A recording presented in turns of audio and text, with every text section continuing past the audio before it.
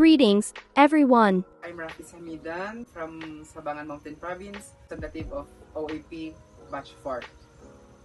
So, ang gagawin po natin ngayon is, FPJ or fermented plant juice. all we need is uh, one, one kilo plant, that is uh, alubati and 1 kilo molasses.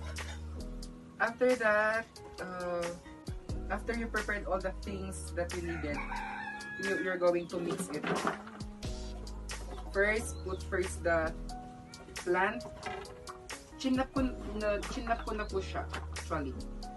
And then, second is, you're going, you're going to put the 1 kilo molasses. 1, 1 kilo molasses and 1 kilo plant po. Yan, mix natin. Mix na po natin siya. Mix them together. We have many kinds of concoctions, but FPJ is what we are going to make. Actually, dito pa ako nag-present kasi dito po yung working area namin nung nung nag-training pa kami dito sa PTC sa Bangon.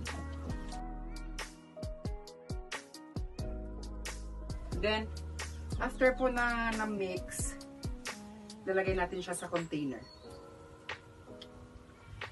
Ito container natin. Sorry na ha. Hindi ko na-prepare ng ano. Ouch!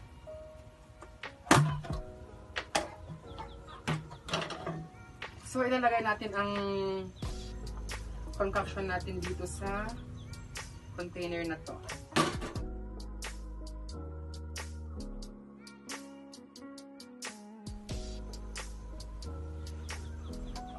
After po na nalagay natin ang concoction dito, pupunta po tayo sa may water area. Clean na clean. So, ang ika-cover po natin dyan is Manila paper. Yan po. Tapos, itali natin siya ng matigpit.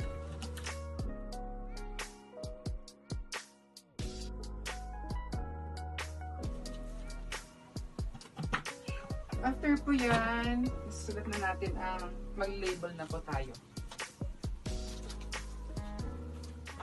Uh, i-harvest po natin siya after 7 days. Ang gagawin po natin pag-harvest dito is gagamit po tayo ng strainer para ma-strain natin yung liquid. Uh, so, that's all. Thank you po. Again, uh, Rafi Samidan from Sabangan Mountain Province representing o o OAP and C2 Batch 4 from PTC. Thank you again po.